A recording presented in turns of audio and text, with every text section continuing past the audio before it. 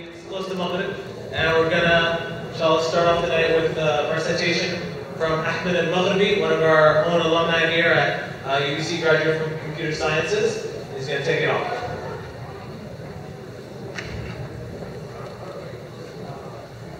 أعوذ بالله من الشيطان فمن تطوع خيرا فهو خير له وأن تصوموا خير لكم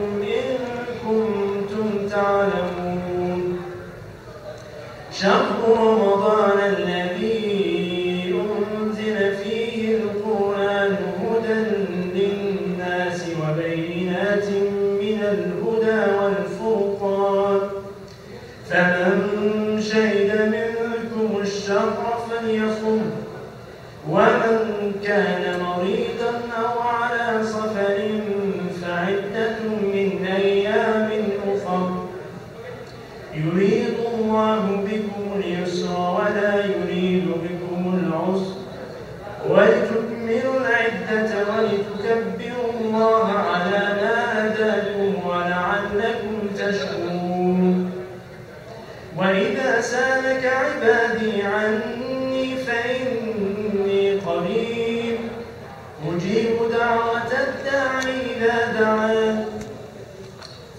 extending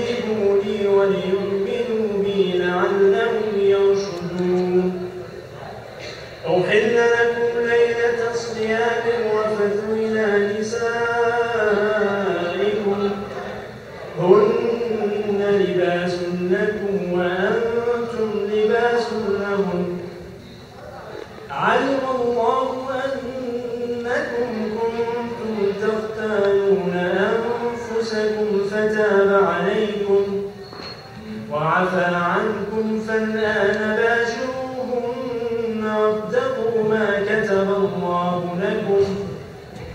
وكلوا واشربوا حتى يتبين لكم الخيط الأبيض من الخيط الأسود من الفجر. ثم أتموا الصيام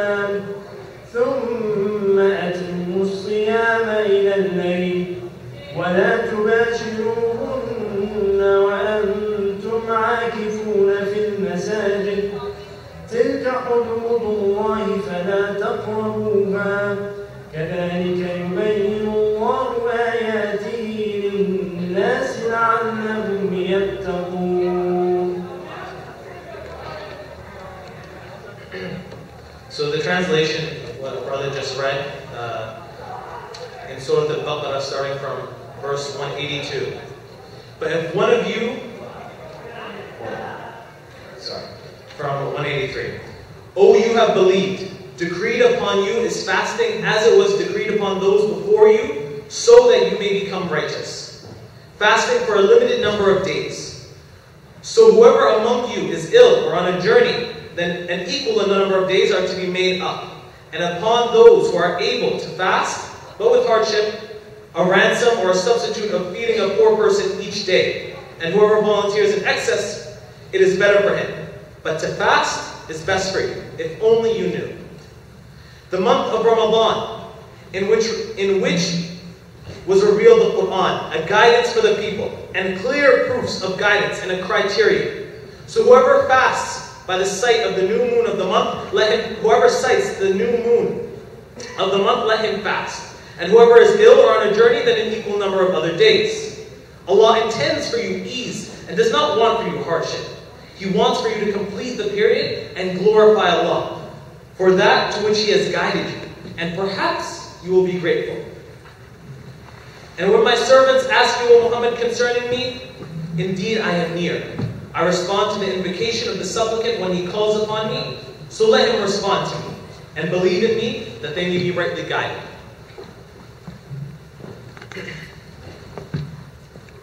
This is the month of Ramadan. Allah subhanahu wa ta'ala mentions all 12 months in the Quran. But only one month he mentions by name, and that's Ramadan, the holiest of months. And in it, intrinsically intertwined with Ramadan, is both fasting and the Quran by its nature. And fasting, the word siyam, means imsak. If, if you were to look at it linguistically, they were to say it means imsak. And imsak means to withhold. Yes, we withhold ourselves from food, from drink, but it's more, more than that, much more than that. It's a clear hadith in Bukhari that, Allah, that Rasulullah said, whoever of you continues with lewd acts, عمل عمل الزور الزور والعمل به والجهل فلا فليس لله حاجة أن يدع طعامه وشرابه Whoever of you is still engaged in lewd acts and ignorance, then Allah has no need for him to leave off his food and drink. Fasting teaches us self-control. Because Allah subhanahu wa ta'ala sent us on this, onto this earth as His stewards. The ones that have mastery over this earth in His name, human beings. And therefore, we are distinguished over the rest of the creation on this earth. We have similarities with other animals, carnal desires like hunger and thirst, but we've also been given aql. A simplistic translation of aql is logic. But linguistically, again, it actually means restraint. Because this is what divides us from the animals. We have this restraint. And utilizing that restraint and not giving into our carnal desires is a method of showing Allah how much we love Him. This is the point of Ramadan. To push back our carnal desires for a period of time, because there's nothing wrong with hunger, there's nothing wrong with thirst, there's nothing wrong with uh, in, wanting to have intimate relationships with your loved ones or your spouse. These are all natural things. But to sacrifice them for a period of time, this is a method of getting close to Allah. And this is also why, and Allah knows best, Rasulullah was the most generous in Ramadan. He was the most generous man in general. After the Battle of Hudaybiyah, when he divided the wealth uh, amongst the new Muslims that came to Mecca, they all came back to Mecca and they said, I came from a man that does not fear poverty. He would just give and give and give like it didn't even concern him. But particularly in Ramadan.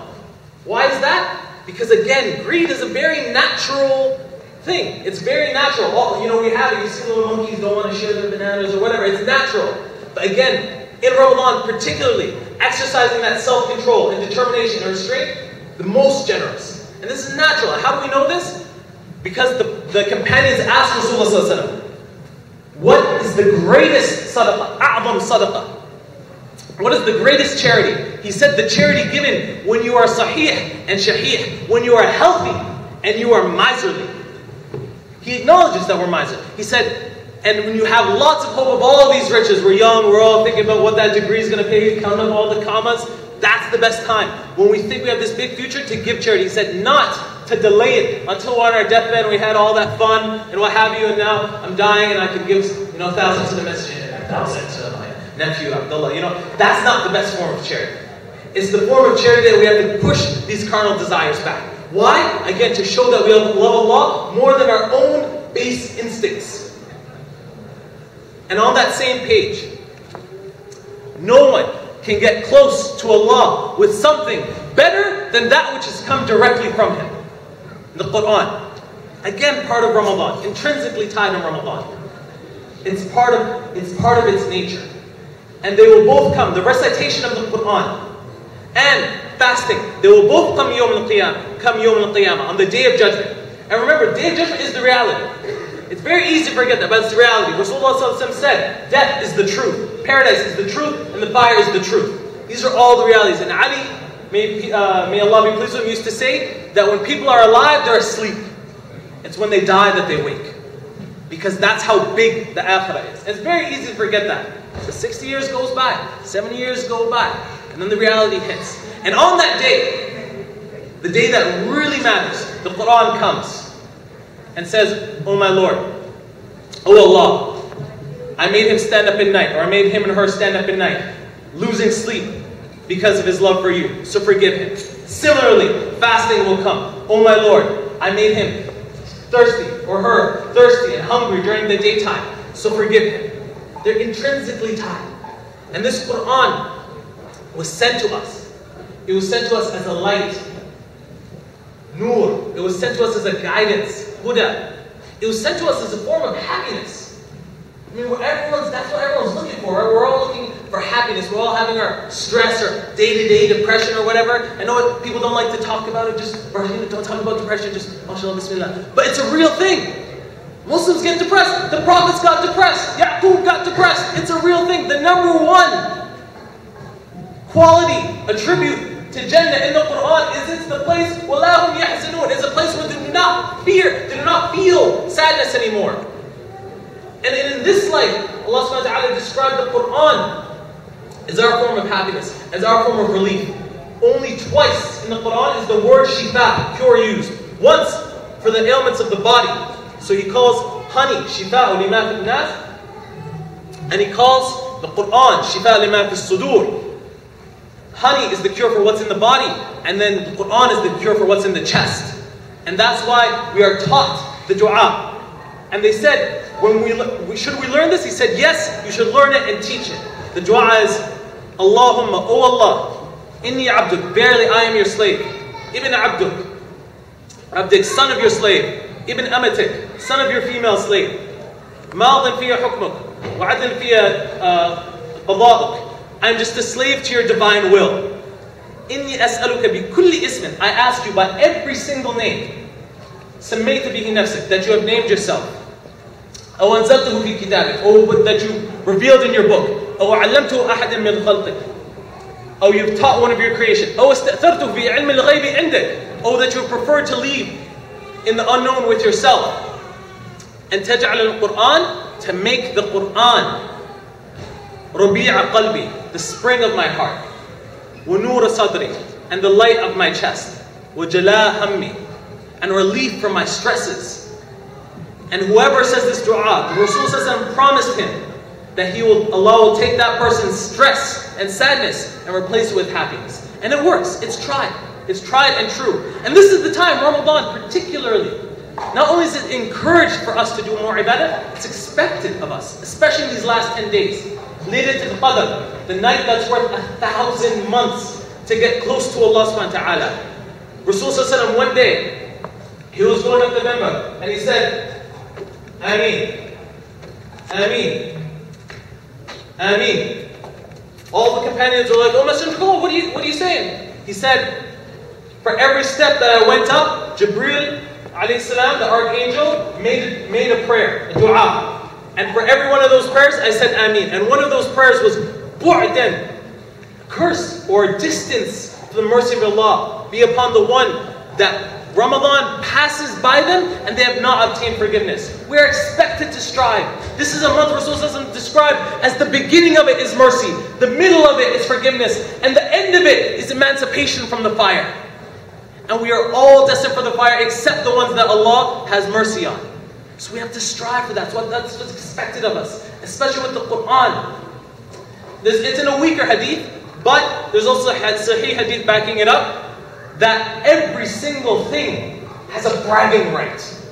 Every single thing has something that gets to brag about. Sharaf. يتباهون به وبهاء هذه الأمة Quran. Everything has a bragging right. And the bragging right of this nation is the Quran. And in a more authentic hadith, Allah raises nations by this book and Allah puts down others. And it's throughout history, just read Muslim history. The second we start straying from the orders of this book, that's when you see the shame come across the ummah. And the second we start going back, that's when we're proud again. That's when we raise our heads again. And it's natural. So this is something we identify with and we are proud of. هو سماكم مسلمون من قبل وفي هذا He has named you Muslims from before and in this. He, Allah doesn't care about the color of your skin. Allah doesn't care about the color of your passport. None of that means anything in the akhirah. So what more to be proud of than something that you make a conscious choice of every day to be? I didn't make a conscious choice about my race, about which country I was born in. I just landed in Canada here on the plane with my parents to do some papers. I couldn't tell. Just here. So what is there to be proud of? Or I was born in Sudan. What does that mean? Did I make a choice there? What is there to be proud of? My sexuality, heterosexual, whatever. I didn't choose that. Where's there to be proud of? But our identity and our pride goes into that thing that you're choosing day in, day out. You go on the news, you see all this trash that people say about Islam, but you know what the truth is. So that's something we're proud of. more than any nationality, more than any skin color, more than anything else. We are proud to be Muslims. And there's no shame in that. There's zero shame in that. And that's why Allah gives us symbols. Allah gives us symbols like this Eid that we're going to celebrate. This is something we take a lot of pride in. That we're proud to be Muslims, and this is our day to feast. This is the day that we worked hard for. This is our Eid. Where's uh, Rukhsar? Is Rukhsar here? In any case, this is the thing that we're proud of. And you have you have lots of people here in the in the in the in the MSA, mashallah, the ones that hosting this, and they're just looking for something that all you know students are looking for. You ask you ask any person why did they go to a fraternity, why did they go to a sorority? Yeah, because they're looking for brotherhood. They're looking for to fit in. They're looking for that sense of identity. So again, the question is, why not get that sense of identity for something that you're choosing day in and day out? People are taking pride from these other things. And Allah says so in the Quran. والذين كفروا بعضهم أولياء بعض إن لم تفعلوا تكون فتنة في الأرض وفساد كبير And the ones that disbelieve, they are the allies of each other. And unless you do so, you will experience fitna, trials and tribulations in this earth. This is the key part. In this earth and great corruption. So this is the reward for this type of brotherhood, this type of community, you will see the fruits of it in the dunya before the akhirah. That's what Allah is saying. He's saying, fil ard. You sense the sense of brotherhood and sisterhood, you feel it in this earth before the akhirah. And if you do not do it, that's when we see the splits, that's when we see the trials and the tribulations. That's exactly what he's saying. So there's nothing wrong with wanting that sense of community. There's nothing wrong with looking for that sense of identity. Everyone is. And if we do not establish it, there will be a fitna, trial and tribulation, and fasadun kabir. So this is what we do. This is simple things. Sitting down, breaking fast, making friends. This is what's expected of us. This is actually how we get close to Allah. Again, rewards in this life before the next life. That's the whole point. And on that note, I think I'll stop here and let everyone, you know, inshallah, make dua or whatever it is before the iftar and jazakallah khair for your time.